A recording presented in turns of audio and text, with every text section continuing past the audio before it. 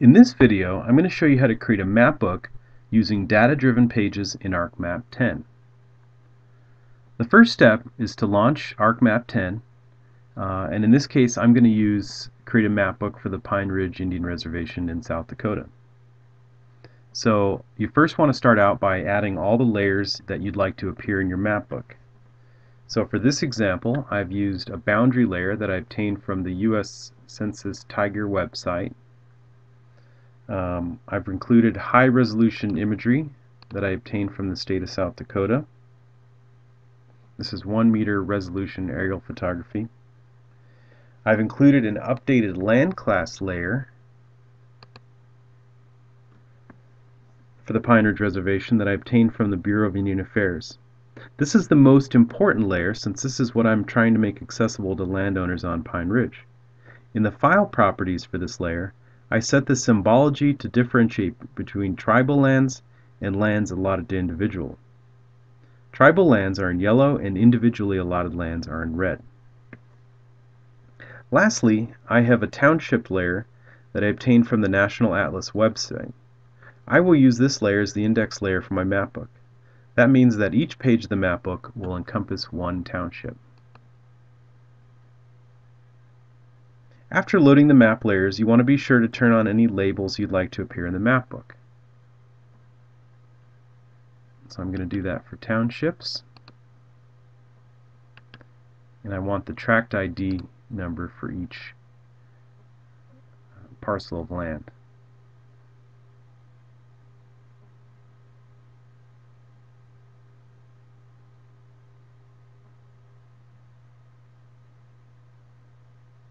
And you'll notice that at this resolution the map seems quite cluttered, but um, when you zoom in, when, when it creates the map book, each township will be a page, and so it will look a lot less cluttered. But at this resolution it looks very cluttered. Okay, so to create your map book, you'll need to turn on the Data-Driven Pages toolbar. You can do this under Customize, Toolbars, and then turn on Data-Driven Pages right here. And what that does is it creates a toolbar over here and uh, this toolbar has five components. It has a setup for data-driven pages, a refresh for the data-driven pages, so once you change formatting you can update all the pages. Um, scroll arrows, so you can scroll through the different pages. A display window that shows which is the current page being viewed and a page text drop-down menu that will allow you to add dynamic text to each page. You can start creating your mapbook by enabling mapbook pages. And you do this under the setup. And click the checkbox. Next, you want to uh, specify your index layer. And uh, first you choose the data frame so I've chosen just the default layers. I only have one data frame open, so I'm just going to use the layers. Next, you want to choose your index layer. And this is what each page will be based on. So in this case, I'm using Pine Ridge Townships. But you can really use any grid or any polygon layer as your index layer because um, I've just chosen townships because it, it makes sense because people often search for their lands, and their legal descriptions are oftentimes in um, range and township. Next, it's going to ask for a name field, and this is the field that each page will be named. So, since each page in, in my map book is going to be based on township, I'm going to use the township name. And in the data table, that's at, under label. I also want to sort my map book by uh, the township and range. So I will also choose the sort field as label. Then it's asking me if I want to sort ascending. Next there's some optional fields. You can choose the field that you want to rotate your tape your pages on or the layer. So if I, for example, if my uh, map book was following a stream or a pipeline, I could choose the that layer as the rotation layer and the, each page will follow that stream bed the curves and contours of that. Next you can specify the spatial reference for different layers. I've left that blank because all my spatial reference are the same. Um, you can also choose a field for page numbers. So you can manually enter page numbers if you want that to override the sort field. And you can also specify what the start page number is. So say if your book has a an opening or an index or an introduction, maybe four or five pages at the start, you can set that page to start on page 5 and that's where your maps will appear. Okay, once you've done that, you can click OK and it's going to create your data-driven pages.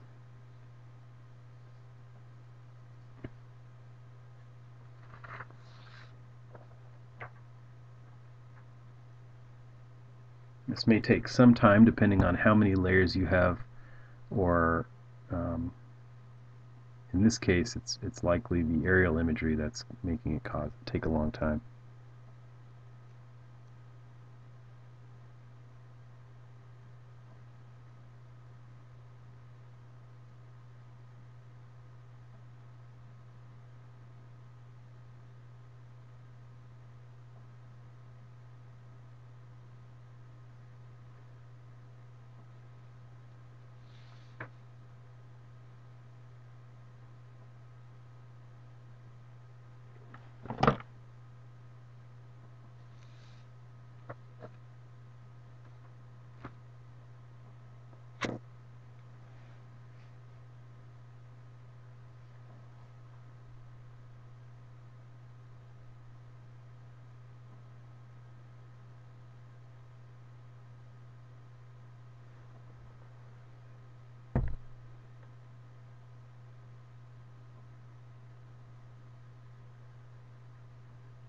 At this point, you should see a page layout for your first grid of your index.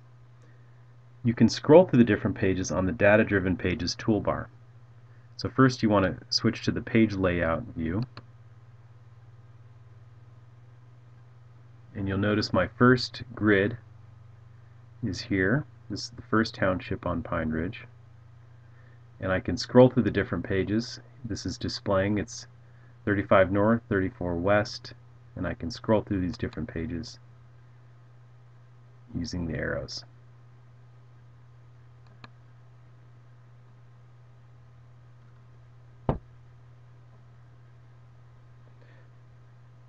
So some of the things you might format your map book uh, is setting up your margins.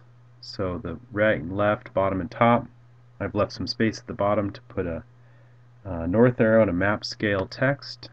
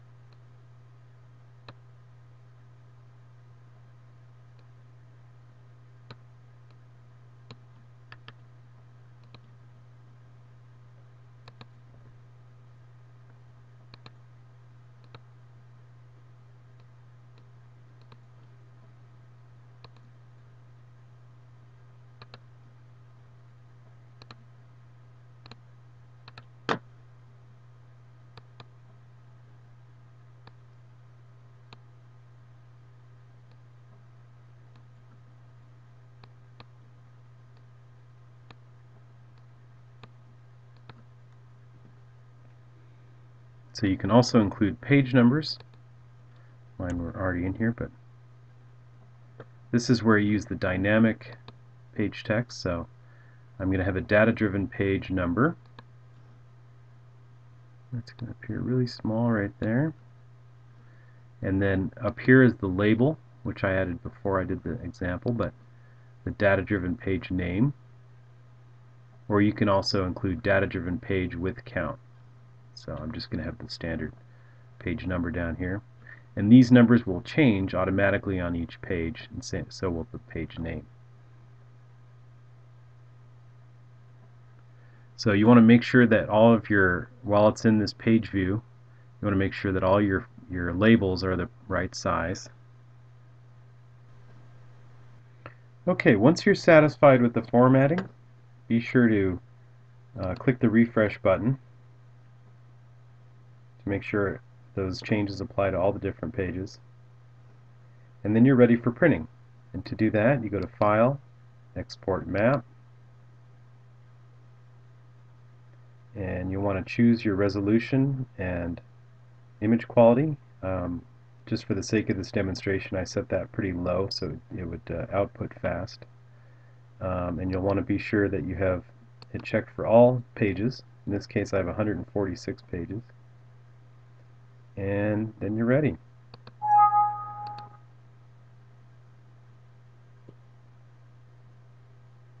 And this could take uh, quite a while depending on the number of pages and the amount of data on each page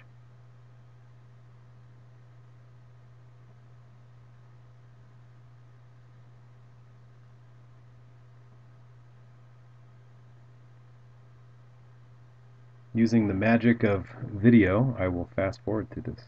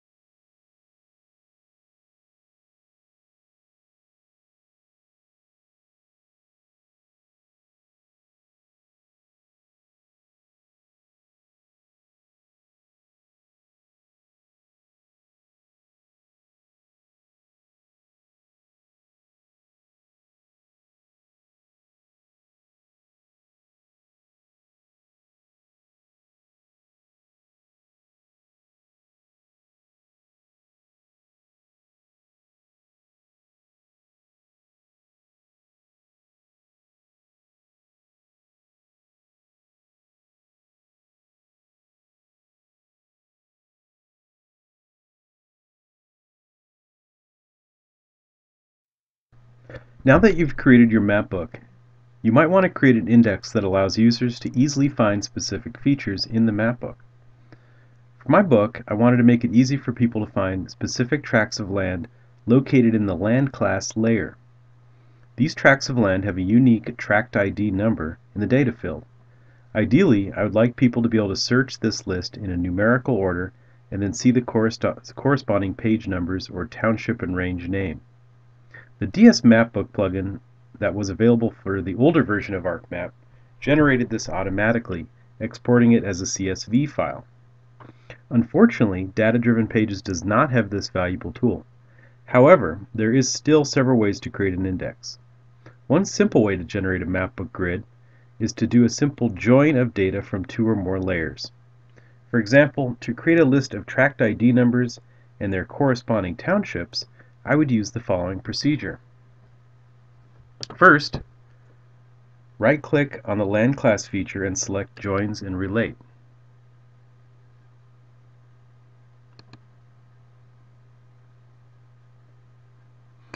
Next, you want to choose Join data from another layer based on spatial location.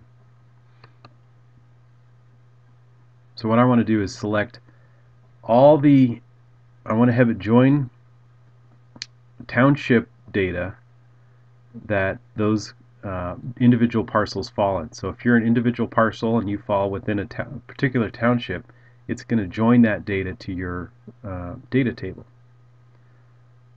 So here I'm going to choose Pine Ridge Townships as the layer to join to this layer. Next, I want to select the radio button for each polygon will be given the attribute of the polygon it falls completely inside of if the layer of the layer being joined. Next I want to choose an output location. So I'm going to just add this to the land class folder I have. So I'm going to have I'm going to call this join land class and township just to make it clear. And then you hit export.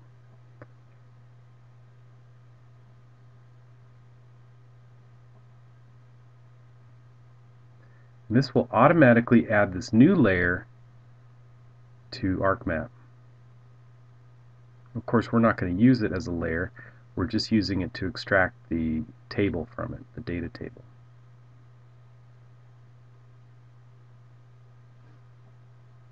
Okay, and you can see it added it as these blue layers, but of course we've already generated our map book, so it doesn't matter.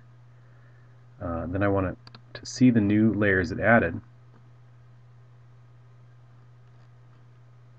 So here we have the data from the land class layer, and then at the end it's going to append on all the data from the township layer. And you can see down here the labels that appear. So now all I need to do is open up this data table, which all I do is add, locate that file within Microsoft Excel or a spreadsheet program, and open up the DBF file. The DBF file is just a spreadsheet file, and I can extract out these layers that I, these uh, fields that I want. So I, for my index, I'm going to want label, and I'm going to want tract ID. And I just delete all these columns out of there and sort them based on tract ID number and it's going to give me the corresponding label. And if I wanted I could easily add a page number to this. So that is how you create an index for a map book.